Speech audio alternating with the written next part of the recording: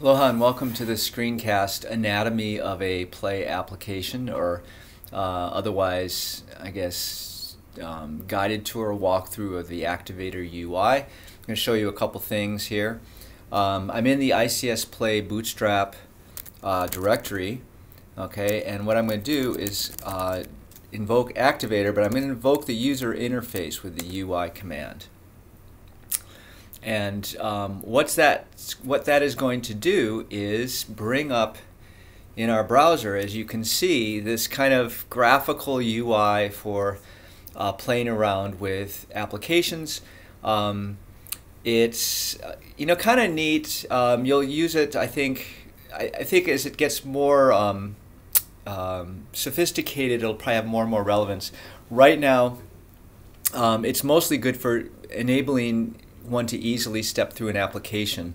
Um, and when you're using templates, they've got this kind of ingenious way that you can document a template um, system that you've developed using Play so that you can use this UI to step through the various components of your your template and show what's going on. So if you want to, for example, learn how to use Akka with Play, you can download the Akka, one of the Akka templates um, from Activator and then display it in the UI and it comes with kind of guided tour documentation for that template that the author of the template has written. So that's kind of cool. In this case what we're doing is we're just going to use this as a way of stepping through the ICS Play Bootstrap application because I want you guys to kind of see how it how it all works.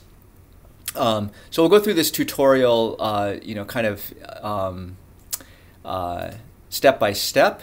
Okay, so let's run the application. Let's, let's see if this actually works. Okay, and what you can see, I don't know why this happens, but you know, pretty much every time you try to do this, it's going to say this application is already running, or delete the uh, running underscore PID file. Now, there's no good reason why um, you know all of a sudden there's this running PID file that has to be deleted in order for this to work. But what I've discovered is, in fact, it creates one of these things and then sees it and doesn't want to run. So you've got to delete it once. And then if you do restart or start, all of a sudden you're going to see things work the way they're supposed to. And then we can go to localhost 9000 and here is our running application. So, you know, that's that's kind of a nice thing other than this kind of silliness with having to um, delete that PID. But that's how that run. Then, then we're going to go to here um, and this is where the tutorial I think gets a little nicer is because it steps you through the kind of the basic skeletal structure of a play application. Um, and the first thing is that web requests are handled by actions. Actions process each request, perform any work that's needed, and return a result. Okay, so you can read through all this. But what's nice is that you can click on these links and essentially see, you know, the code for this particular template. And as you can see, we've got two uh, actions associated with um, you know, this particular application, one for the uh, rendering the index page and one for rendering this page one page. So in essence, um, at, when you first start developing play applications, what you should think of is that every time you add a new page, you want to have a new action or you know controller for that page. So there's going to be kind of a one-to-one -one correspondence in terms of the methods here and the pages that you have. As you get more sophisticated, that rule isn't going to hold anymore. But as a first approximation, when you're first getting started, definitely just think of it this way: that each you're going to have one of these things. It's going to render each of the pages. Okay, so let's go back um, to the tutorial.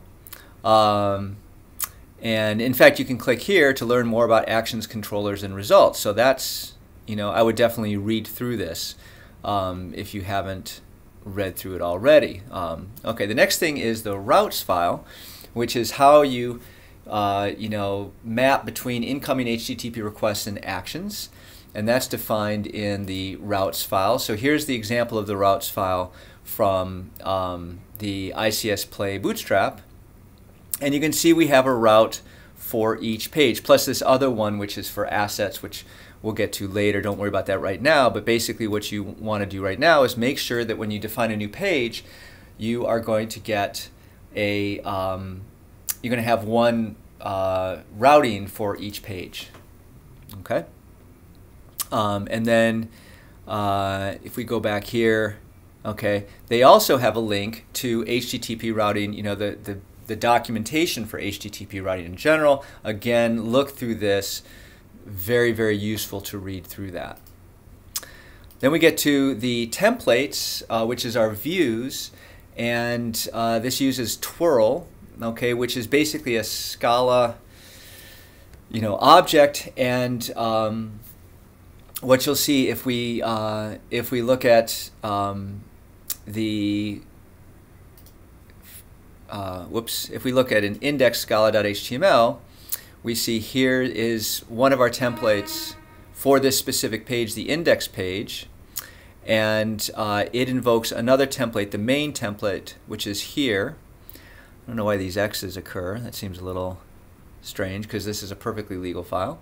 Um, and then we have the, uh, the, the template associated with our other page here. Okay, um, and then we can go look through um, the actual Java doc, I'm sorry, the, the um, play documentation for templates. Okay, so the important thing to note is that if you're looking at this file, this page1.scala.html, that's going to actually produce a Java class called page1, which has a render method. Um, so if we go back to our application, okay, here's that invocation of the page1 render method. Um, and that class in views.html.page1 was implicitly generated as a result of compiling that twirl template, that, that page1.scala.html. So that's that's quite frankly just magic, okay, as far as a Java programmer is concerned. You know, how the heck does it do that? But somehow it's going to take this, um, whoops, it's going to take this particular file, index.scala.html, and there will be an index.java class in the views.html package somehow created from that with the render method. How it does it, who knows? Just, you know, it's magic to us. We don't care as long as it, as long as it actually does it. Static assets, um, this lives in the public folder. The only thing that we are concerned with in the public folder is the style sheet subfolder, which has a main.css. That's where we're going to put our customizations. Um, the other stuff you're not going to probably have to worry about too much for this class, um, but it's, it's real obvious and you can just read this section to learn more about it. Okay, and then we get to the build system. Um, build system is, you, you, know, you have to know SBT. There's, uh, you know, this file, which you're going to end up having to play around with a little bit, um, hopefully as little as possible because it's um, not fun to play around with this file, but that's, um, uh, you know, where you have to do it. You can learn more about the build system right here. Um, and um, as I said, I don't enjoy this build system that much, but you know, in normal cases, you, you do activator, new activator, run activator, test, activator clean, um, just a handful of commands which you run through activator and then gets passed off to SBT to actually do you know the, the heavy lifting. Runtime configuration is in this conf application.conf. We'll, we'll um, get more into this later on the semester when we start dealing with backend, um, the backend database. Not too big a deal. Um, it's kind of a standard con, you know, configuration file. Um, so you know you don't have to get too nervous about that, but you can learn more about it again um, by going to this page. Okay. Uh, the command line, you know, this talks about the activator commands. You can go here to learn, you know, what you can do. It's worth reading through. Um, and then I don't know more information. What is this? Oh, okay. So yeah, you can you know uh, go to Stack Overflow for example if you if you want to. But hopefully you won't have to do that. Um, hopefully I'm the only one that has to be going to Stack Overflow for for this class. Okay, so there is the skeletal structure of a play application. Um, you're going to have to think about the uh, when you add new pages and so forth. You're going to have to provide a new action or you know modify your controllers. You're going to have to update your routing. You're going to have to create a new template. Okay, those are kind of the three things, and it doesn't talk about testing in here, which is, um, you know, a little frustrating because you do have that test folder with the tests in it, and that's also something you'll need to do. All right.